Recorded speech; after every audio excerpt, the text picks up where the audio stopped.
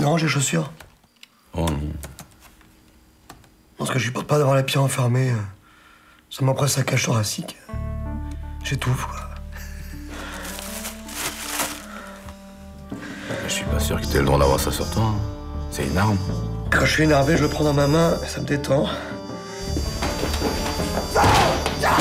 On m'arrête tes conneries T'es en train de fucker complètement là